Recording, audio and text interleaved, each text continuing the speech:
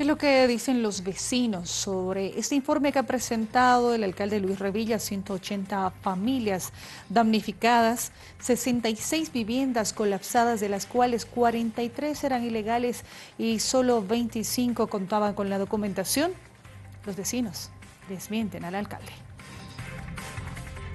Es una situación compleja, pero la gran mayoría de las viviendas estaban sobre todo en la parte baja sin, sin ser parte de las planimetrías y sin autorizaciones. Y muchas de ellas, estamos hablando de varias de estas viviendas que tenían muchos años ubicadas en este lugar es también un tema de necesidad. Tras el deslizamiento en la zona de Cantutánidos, donde se llevaron 87 viviendas y existe 180 familias damnificadas, vecinos desmienten al alcalde y le dicen que en la zona se tenía todo legal, porque pagaban impuestos al municipio paseño. Señalan que contaban con todos los servicios básicos y que llegaba además el sistema de televisión por cable. Por rumores de los vecinos, por rumores de la gente, supuestamente el alcalde había dicho que esto es basurero, que no teníamos planimetría, que no había papeles, que no sé qué. No sé. Yo, no puedo hablar de algo que no sé. Solamente he escuchado por rumores. Mentira, falso. Mi casa tenía planimetría, mi casa de mí tenía papeles, mi casa de mí pago impuesto, tengo luz, tengo agua, tengo cable. En semejante avenida, mire tan linda, los puentes trillizos de ver ¿qué pasa? Totalmente al, al cuarto centenario. Tenemos aquí el teleférico, el poste. ¿Usted cree que nosotros no vamos a tener ningún papel?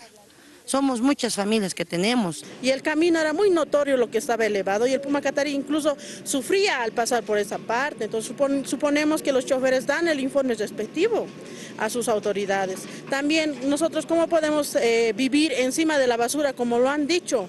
Tenemos nuestro documento, pagamos impuestos, tenemos todo en regla. Entonces no nos pueden decir que nosotros nos hemos asentado encima de la basura, eso no es así. Yo me pregunto cómo el alcalde puede hacer el ingreso a los puentes trillizos encima de la basura.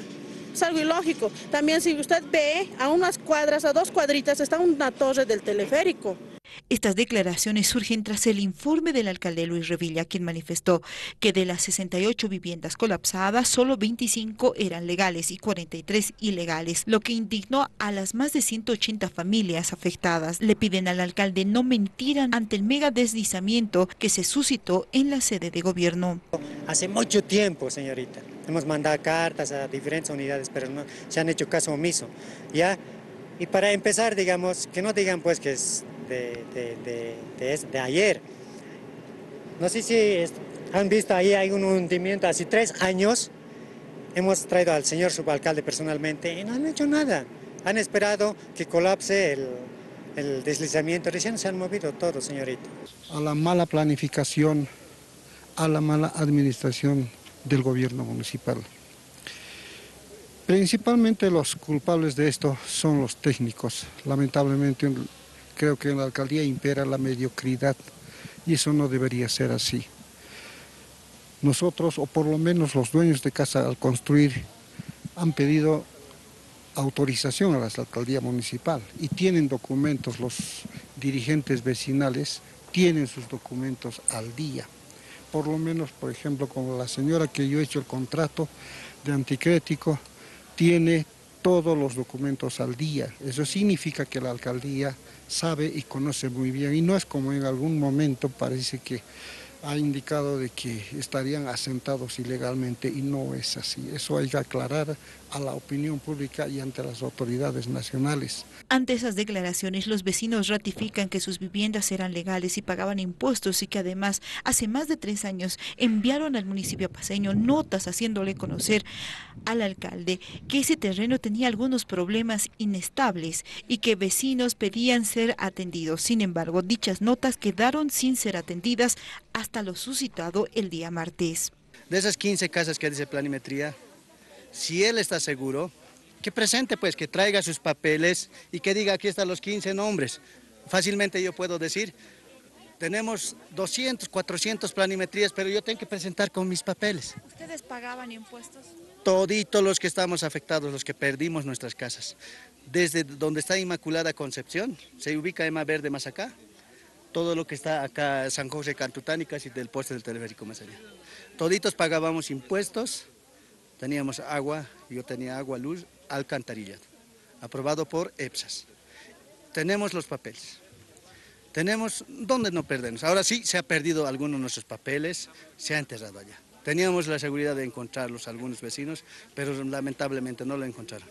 Pero ¿qué es lo que ahora estamos, vamos a pedir? Hoy en día ya no es anotar como antes archivaban en, los papeles, lo guardaban hace años, muchos. Ahora ya es todo en sistema, todo sistemado. ¿Dónde perdernos? Ahora el alcalde dice, ayer vino, en la tarde yo tampoco estuve, pero me informaron, vino, acá no vamos a preguntar quiénes tienen papeles, porque acá no, se va a hacer todos los que han perdido. Nosotros los como dirigentes y vecinos nos conocemos quiénes somos, Dentro de la zona del desastre existe un sector denominado Lado Verde, donde las viviendas se encuentran en evaluación para la demolición. Todo depende del movimiento del deslizamiento, donde existen alrededor de 26 viviendas en riesgo. Asimismo, hay una zona denominada Azul, que alberga 53 inmuebles, que son objeto de monitorización constante. ¿Qué es lo que dijo el concejal Jorge Silva sobre este tema? Aseguran que estas viviendas pagaban impuestos. El concejal Jorge Silva señaló que existe un responsable que es la Alcaldía de La Paz con relación a los deslizamientos. En este mapa, estos inmuebles que están dentro del área de alto riesgo tienen registro catastral. Todos ellos pagan impuestos. ¿No? Todos ellos tienen agua, tienen alcantarillado, tienen acceso a los servicios públicos y están encima del el ex botadero que tenía la alcaldía o La Paz y está eh, ahí abajo el río que no ha sido intervenido. ¿No? Entonces, fíjate tú, toda esta área ploma eh, son el área de residuos sólidos, RS. ¿no? Todo este sector, plomo, era el botadero que tenía La Paz y vas a ver que el RS quiere decir residuos sólidos, o sea, sabía la alcaldía que todo este sector era un sector de residuos sólidos, era de basura. Y esta parte azul, ¿no? Son las franjas de seguridad que no debería también haberse eh, autorizado la construcción. Por lo tanto, hay pues una responsabilidad de la autoridad competente que al parecer solamente le interesa que le paguen impuestos. Indicó que dentro de los documentos de la alcaldía que muestra algunas construcciones precarias en la gestión 2006 en zonas donde la alcaldía sabía que eran de alto riesgo, se construyeron casas. Y aquí hay un responsable, ¿no? que es la alcaldía de La Paz. ¿Por qué?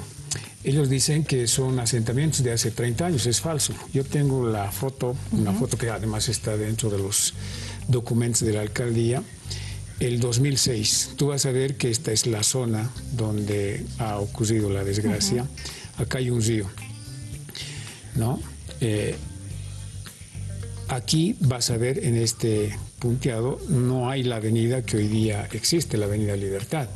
Este es el 2006 y vas a ver que hay algunas, eh, algunas construcciones precarias, ¿no?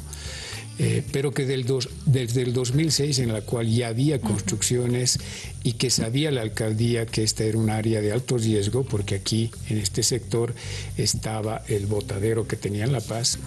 Ahora, esta es la, foto del 2019, ¿no? Estaba en, en esta forma. ¿Sí? La avenida, intervenciones que ha realizado la Alcaldía de La Paz, construcciones que había en todo este sector, que de acuerdo al mapa de riesgos del 2011, todo este sector es pues de alto riesgo. Finalmente señaló que la Alcaldía de La Paz se permitió la construcción de viviendas en una zona de alto riesgo, pues los inmuebles que están dentro del área de alto riesgo tienen registro catastral. Todos ellos pagan impuestos y tienen acceso a servicios públicos.